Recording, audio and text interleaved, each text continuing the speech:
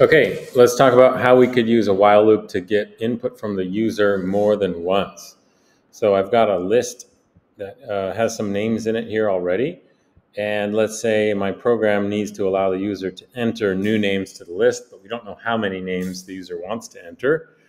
Um, so it's going to allow them to, to say whether they want to keep entering names or not.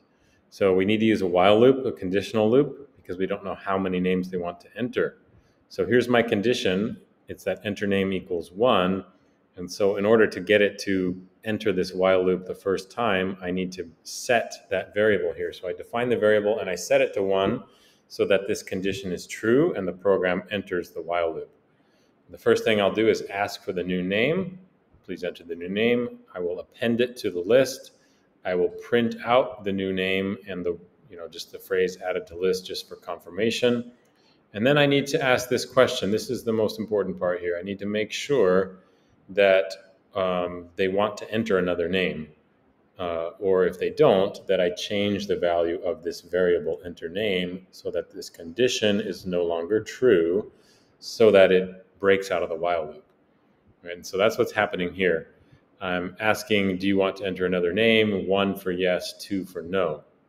Really, it could be anything. It doesn't have to be two. It could be anything besides one that would cause this to not be true. Um, and I typecast it here to an integer just because here it's an int. Uh, do remember though that if what they enter is not numeric, it would break your program here. So uh, potentially a safer way to do this, actually I'll just change it. I'll make it a string instead of an integer. It's to be a safer way to do it. If I put quotes around it, now it's a string, and now I don't need to bother with uh, making it an integer here, and it won't break the program. Um, and then finally, after the while loop, it just prints the names. So here's what it's going to look like. I'll run it for you. So new name, hatch, okay, hatch added to list. You want to enter another name? Yes. ABC, ABC added to list. You want to enter another name. And if I'm done, I can push two or anything else and it will break out of the while loop. And then it runs this last line here, print names, and that's where we get that whole list there.